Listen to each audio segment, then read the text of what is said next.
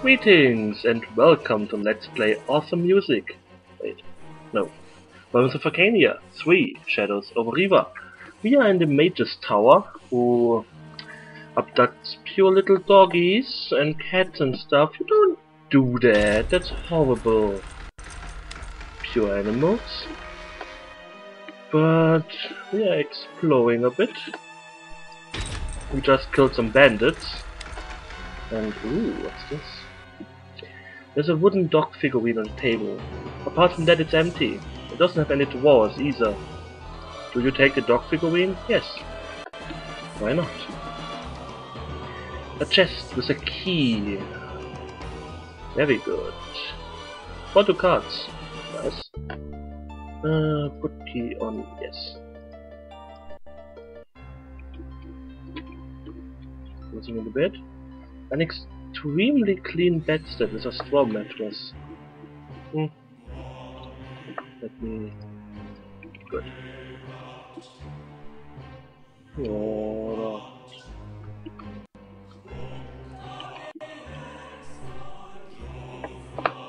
Drinking horn, brandy, tableware. Hmm.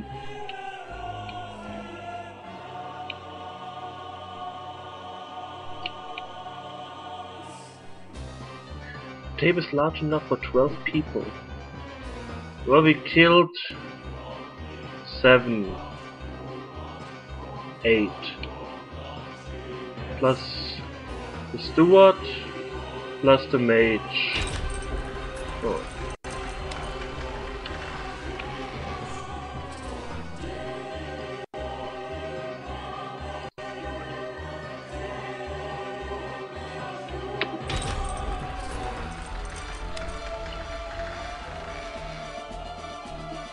Hmm.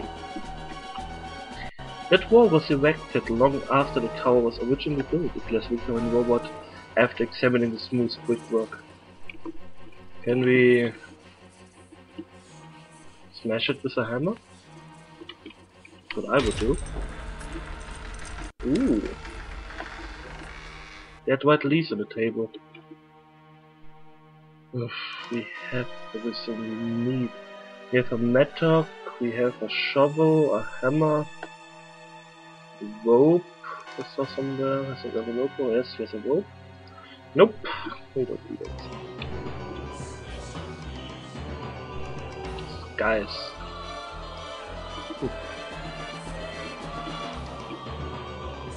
They are. There are three wakes on the wreck. No useful weapon at all. Just leave them, says another way. Elana's curiosity makes him open one of the bags. It's it's full of horse manure, he says with some amazement. Oh, horse manure, whatever it is. I guess it's horse shit? I don't know.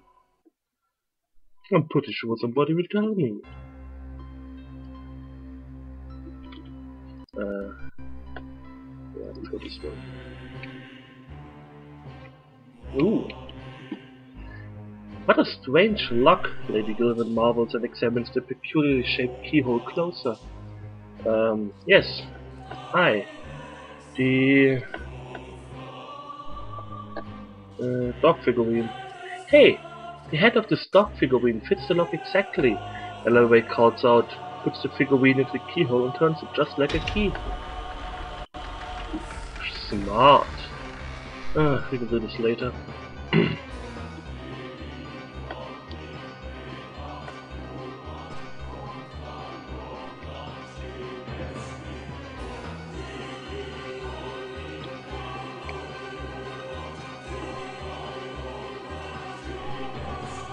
haven't explored here yet.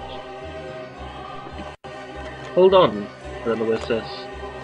That looks looks just like these words he pulls out a key and opens the lock. Just as I thought, and then he says with obvious satisfaction. Uh-huh, storeroom. Ninety rations. Three sharks. There are three sharks in here. Uh, okay. licorice.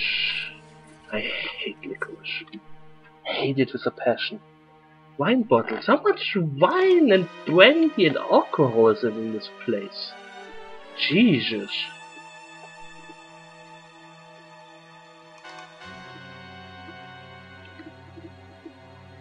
There's neither wood nor coal in the fireplace. But despite this, a fire burns there and heating a metal cauldron above it. Okay.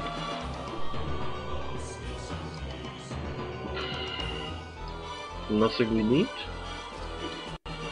Are cut off fish heads, fish bones, cavalies, and wood waste on the table. A bloodied knife rests beside them. Do you want to take the knife along? No. Why would I want a knife? You're standing in front of a dark fireplace with a chimney hole in the wall above. There must have been a fire going on just a short while ago, since the bricks are still warm. The runaway takes a small bunch of wood and pokes around in the ashes, but doesn't find anything. Hmm. There's a tub of water on a small pedestal with an old, dirty shirt next to it. Feel like, take, feel like taking the shirt? No. Uh, thanks water? No.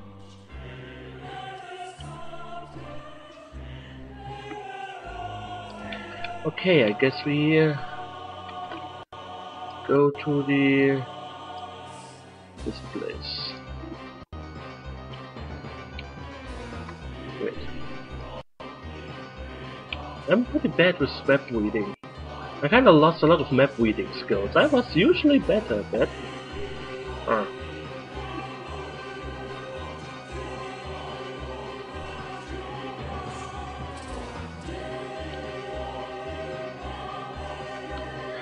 So, we have to leave someone behind.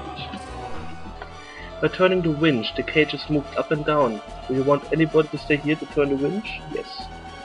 Lady Gilbert, I'm sorry, but your combat abilities aren't that great. There's only room for one. Elder Loco, you can go. Elder Loco gives Lady Gilbert, who is waiting at the winch, a hand signal. Um, Lady Gilbert engages the winch, moves the elevator with a loud groaning sound.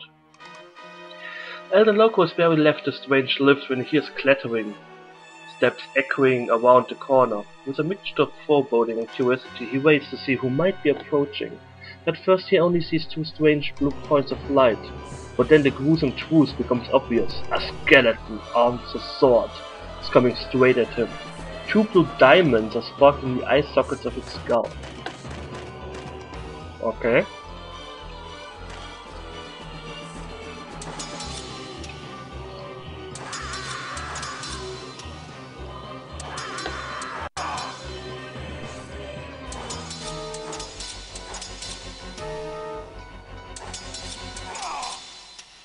You can do it!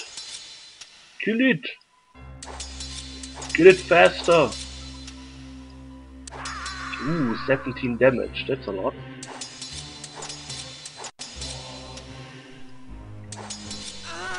Good. Take the two blue diamonds. You don't need a sword. After the local catches his breath.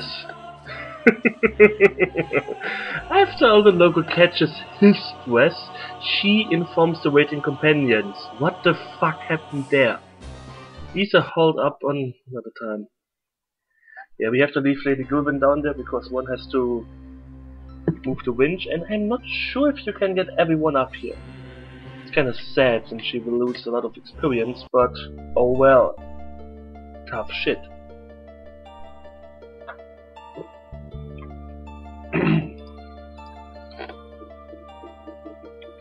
hmm.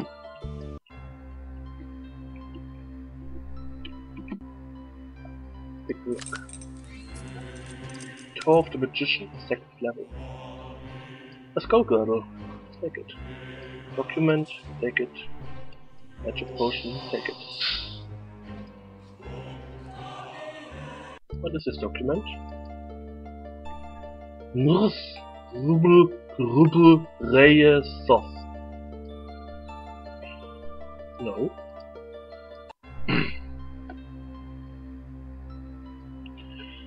power 5.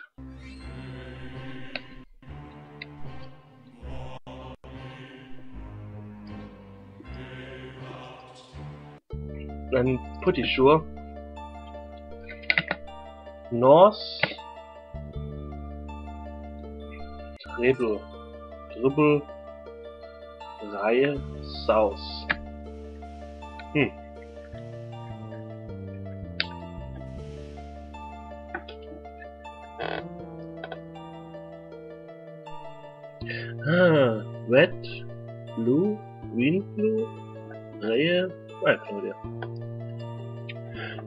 We will figure this out later. What's this?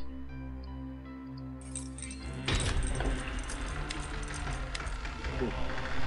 Let's go this way first. Oh, wait.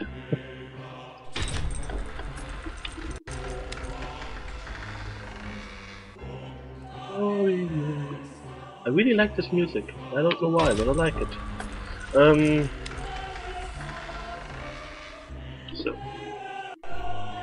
When you enter the musty smelling room, some figures step on the walls. They are skeletons.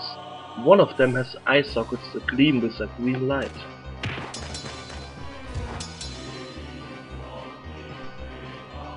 I don't feel that comfortable here. Uh, let's attack the skeleton warriors.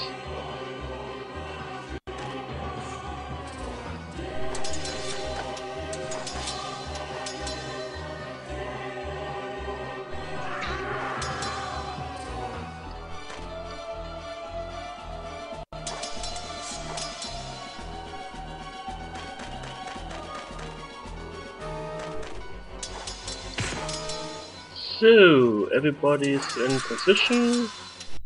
Almost. To get the elves out of there.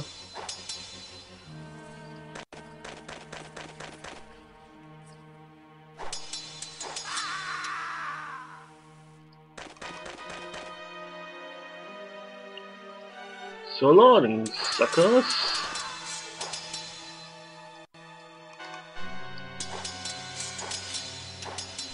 Okay, my two tanks are keeping the skeletons busy, so the elves can attack from safety.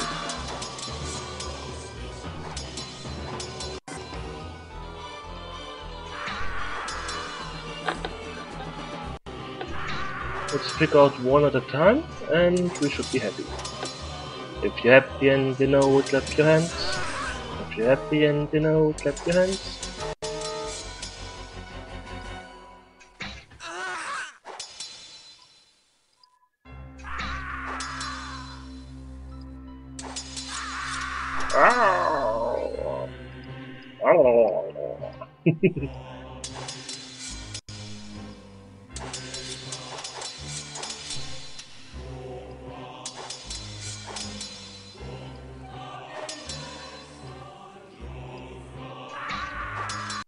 I was really looking forward to the auto combat, but mm, considering the fights in here are not that random, uh, it doesn't really matter to me.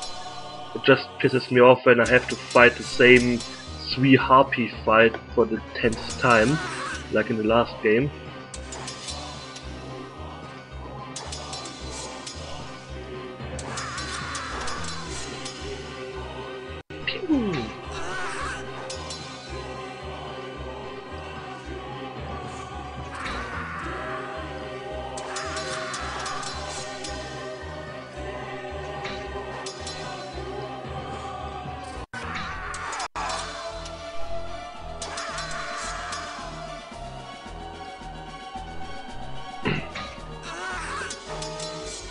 Think I can do computer combat. Whoop. Yay! Nobody died. Awesome. We take the two reds, uh, green stones with us. Um, how's your need more?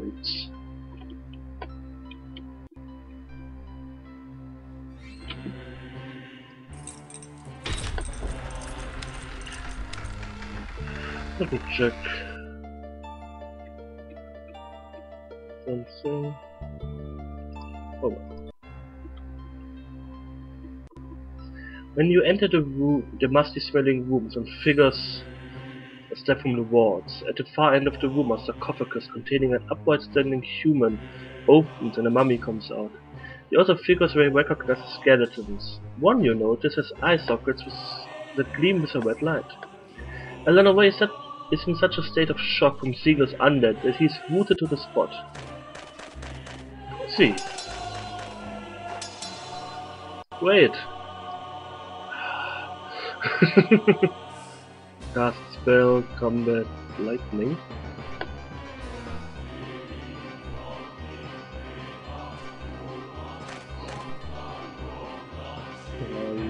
day.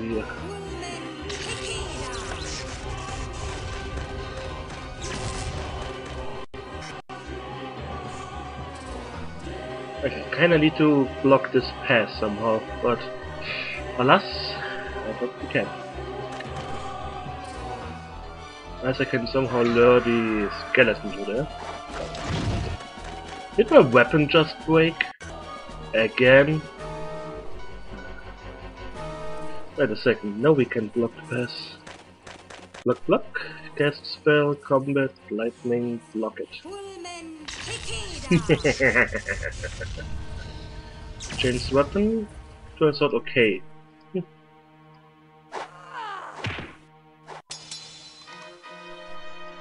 this is a very female sounding mummy. I mean, there's nothing wrong with it, but it's... You expect something different from a mummy. I think. So you kill this stray skeleton in here. Kind of attack was that? It just whirled around, like, whoa, I'm a mummy. Look at me, going wee. Wait. Oh well.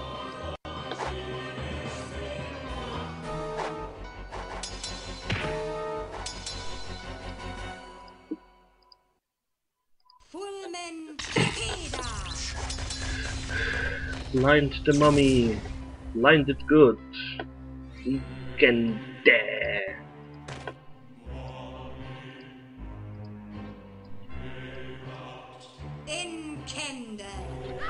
Whoa. A very female sounding mummy.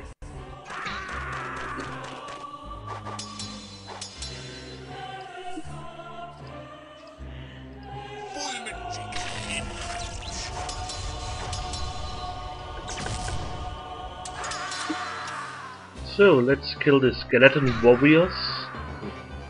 Remember the Buxus.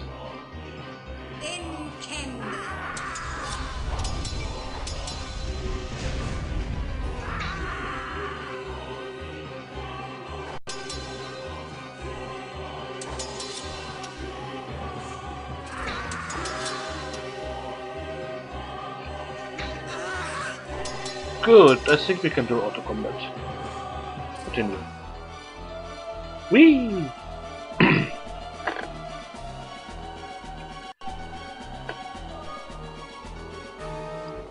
take, take, uh, yes. That would have to be a sarcophagus, says the twin robot.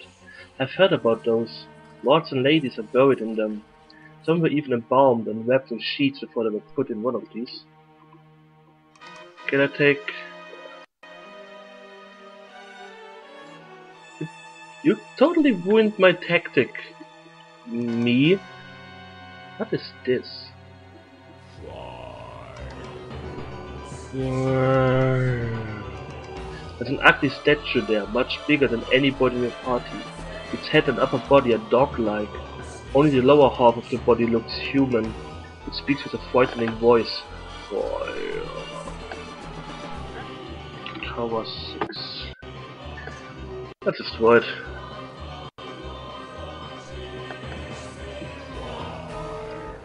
Eleanor steps up to the stage and strikes it repeatedly with the metal.